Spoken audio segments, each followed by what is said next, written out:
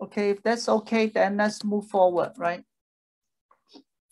Now, so we will continue to uh, work on this uh, edge trigger, but this time we use the so-called transmission, dynamic transmission gates. That is another thing, right? So try to compare to this circuit we discussed earlier. What's the difference between them? No feedback. I save two inverter. That is the same, but we save two inverter, right? But first of all, is this a positive or a negative edge trigger?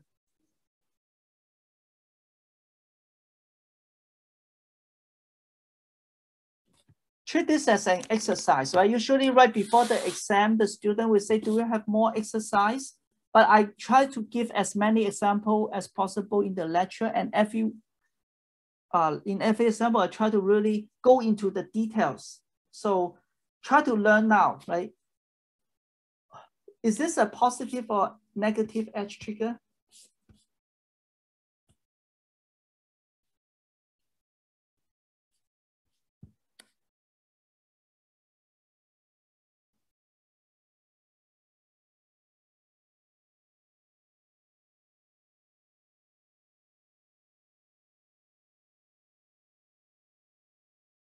Who think it's a positive, please raise your hand.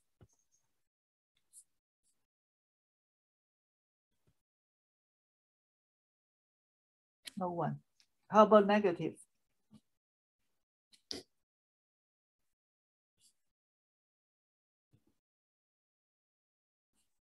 No one either. Who is not listening? Please raise your hand. Sorry, yeah. Who is listening? Please raise your hand. Well, I should not have asked this question.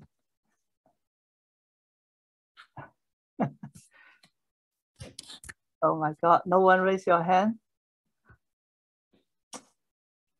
Thank you. At least one is raising the hand.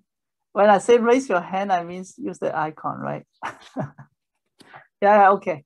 Yeah, anyway, thank you. Yeah, I should not have asked this. Uh, just humiliating myself. Okay, yeah. But anyway, uh, I know uh, some of you don't want to talk because uh, it's very, uh, how to say, uh, your environment might not be good. And also, yeah, some people just don't want to talk much.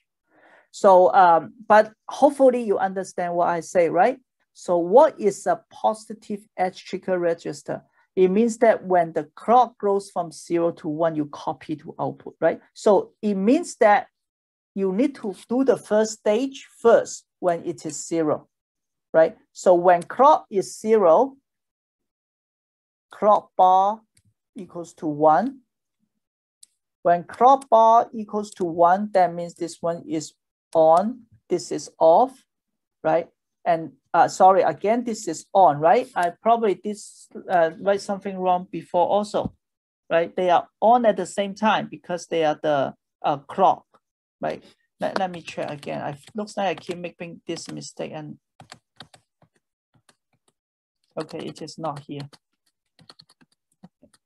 Yeah, and then at this time, this is off, this is off, right? So this one will get copy, right? I keep repeating. So I hope you don't feel that I'm repeating too much, but that that's it, right? Uh, you, you're supposed to understand and do not say that in the, you don't have enough practice. And then when the clock is on, then uh, it's one, right? Then this is off, this is off, this is on, this is on, then the data go through, right? So at zero, you prepare at one, you copy to the output. So this is a, a positive edge trigger. Okay, any questions?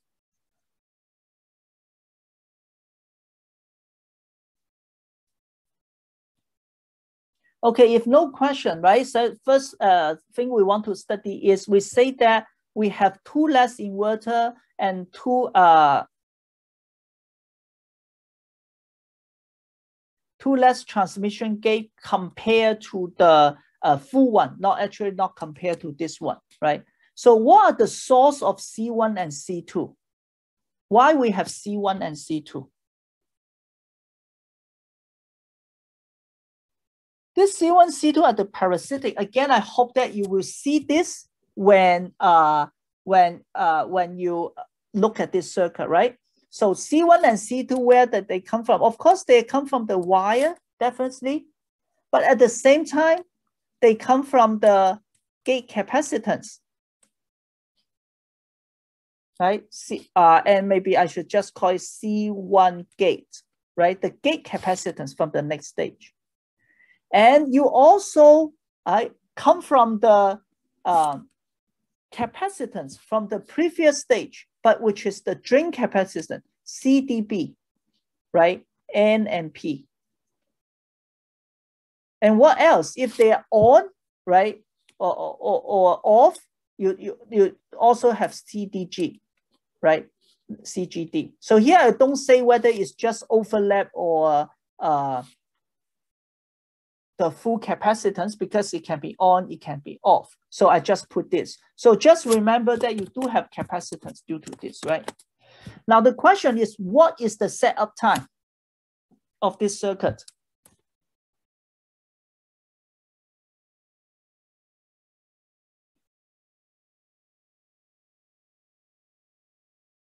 So turn out we can have two different, so this is a very important example we have two different answers, but they need to be self-consistent throughout the derivation, okay? In terms of setup time, basically we're saying that when this clock comes up at T2, I want to copy. So it is better to have the data ready here. Okay, so definitely it's T1 plus I1, right? Uh, let me write it as T T1 plus Ti1, right? Because when I clock goes up, when I try to copy, I want D to be ready here. So it means T1 plus Ti1 before, you need to be ready here. That is the setup time. Okay, how about the hold time? Once I copy, does the D need to hold?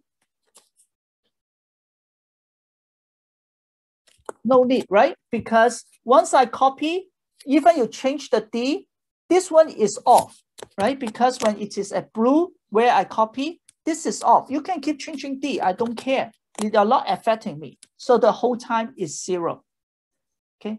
Then how about clock to Q?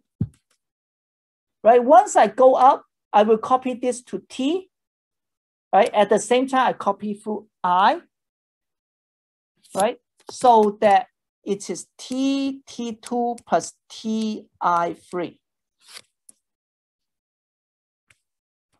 This is solution one. Is this okay? Any questions?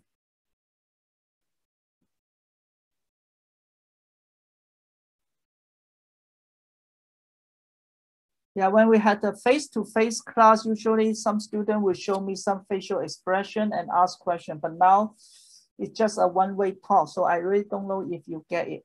That's why I keep asking, right? So if you have any question, please do let me know. Okay, then there's another solution. Like I can also say that the T setup time is just T solution two. I can also say the T setup time is just TT1 right? It doesn't matter because I just think that, hey, make sure at least you copy to here. Okay? Because after this, when the clock goes up, I'm going to turn off this. No matter what you do here, it's not going to affect me, right? So even you call it TT1, that is okay. But the T hold is still zero. However, however, what is the T clock to Q? When this goes up, I need to wait for it to propagate through I1, T2, and also I3. So now T clock to Q will become T I1 plus T T2 plus T I3, right? So two different solutions, but you see that they are all valid, right? The other people who use your device to design their circuit, as long as they follow one of them, there will be no problem, no timing issue, okay? Is this okay?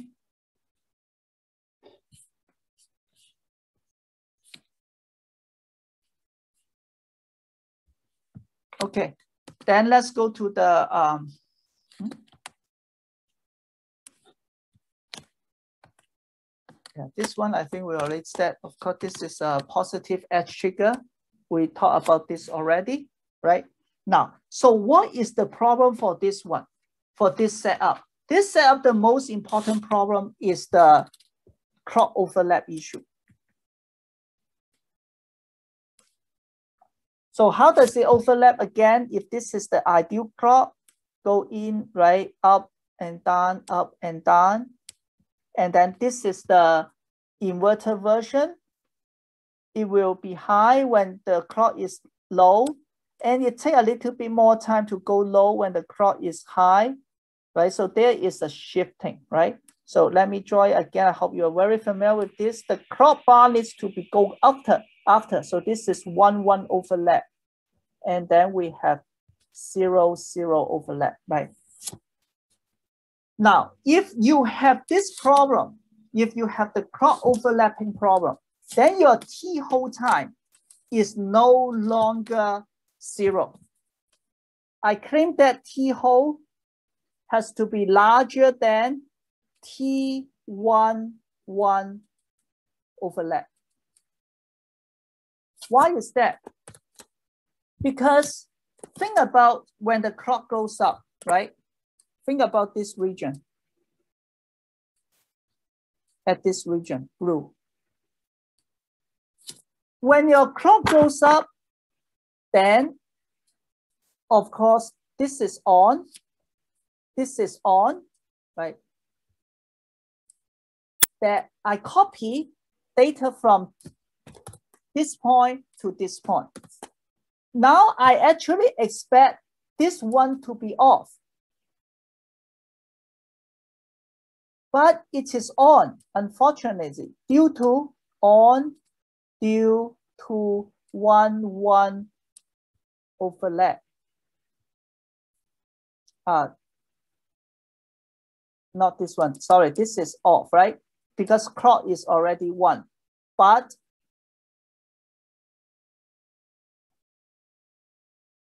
this one is on, right?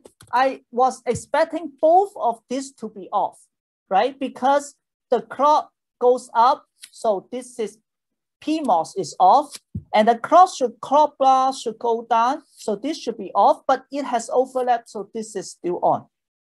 Because of this, the data can still affect my result, right? So I wanted at least the data to hold, do not change, at least for one, one overlap time. Otherwise, it will keep propagating and eventually contaminates my result. Uh, is this clear? Any questions?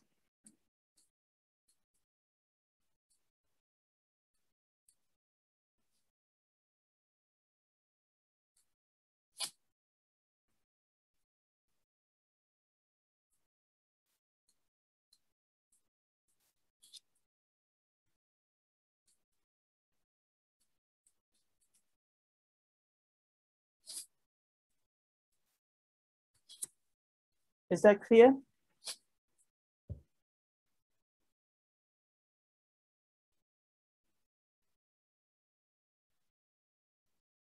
Okay, and then another issue is this, right?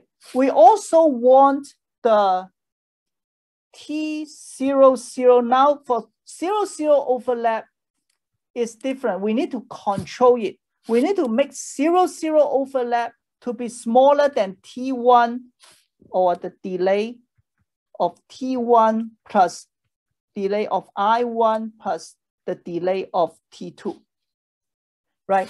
Because this one I should use red.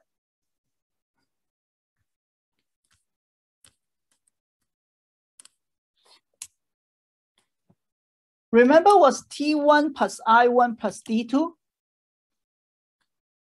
This just like talk like the clock to Q, right? So what happened if both of them are zero? If both of them are zero, then it means that, okay, yeah, this is on, right? And this is off. Uh, this is on. this is off. So you see that the signal, right? The D can propagate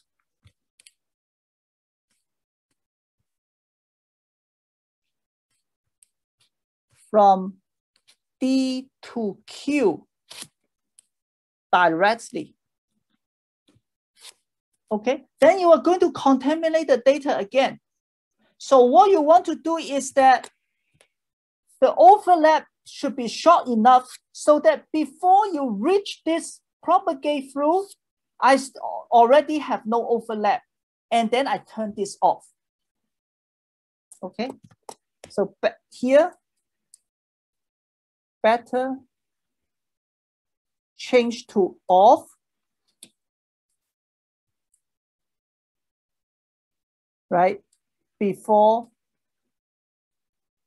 TT1 plus TI1 plus TT2. This is what I'm trying to say here. Okay, I, I, I hope that is clear and uh, time's up. I will stop here. Let me know if you have any questions.